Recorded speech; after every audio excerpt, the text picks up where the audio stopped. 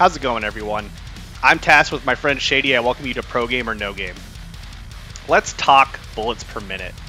This game is insanely fun. It's not a game that you can really go pro or professionally compete or anything like that, but it's a game that Shady and I are incredibly excited to play. I'm sure everyone watching this video is familiar with the concept of BPM, but I'm going to give it a quick overview. It's a rogue-like first-person shooter with a kind of a kick and a twist. While you're navigating all of the randomly generated levels and getting all the randomly generated loot, you have to time every single action, almost every single action, to the beat of the music.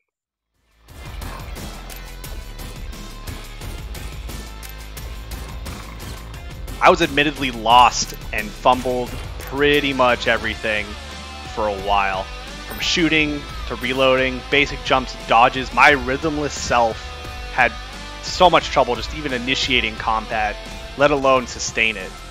The initial boss was so daunting, I was just flailing around and pretty much got insta-gibbed. But then, I got a new gun.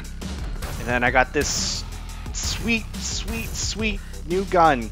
The power-up started synergizing, everything started making sense, and as soon as I started naturally keeping beat with all of my actions, it was game on. This game sucked me in from that moment. I played over two hours with barely even noticing how much time has passed. Overall, I've been enjoying the game. I'm going to enjoy making content. I had a few annoying game freezes initially, but they seem to have worked uh, themselves out.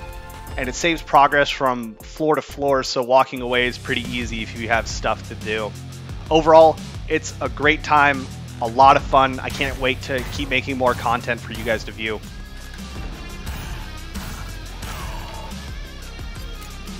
I look forward to playing more BPM and getting deep, deep into this game. I hope you guys enjoyed the review. Expect more episodes from myself and from Shady's perspective with some head-to-head matches coming soon. Uh, feel free to watch any of the other shows on our channel. And with that, I'll see you guys next time.